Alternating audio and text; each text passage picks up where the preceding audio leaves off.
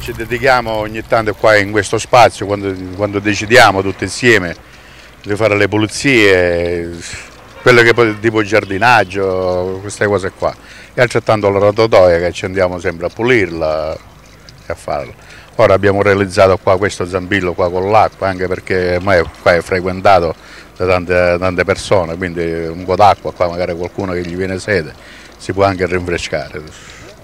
Tutto quello che viene fatto viene fatto a titolo gratuito, Sì. c'è questo impegno per il territorio. Sì, assolutamente, è tutto fatto così, è tutto spontaneo, senza, anzi ci rimettiamo forse qualcosa perché serve sempre qualcosa anche per verniciare le panche, le cose, facciamo una colletta tutta assieme, qualche euro e per te- mantenerlo così questo posto qua. L'associazione è vera, autentica, fra qualche giorno compie 15 anni di, di vita. Noi siamo veri, autentici e ci siamo da 15 anni con la presenza qui nel quartiere sul territorio di Scicli in particolare.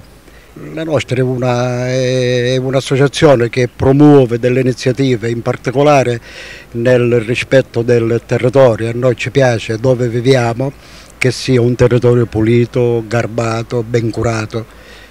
Mettiamo tutto quello che noi abbiamo a disposizione, specialmente eh, tutto volontariato che facciamo.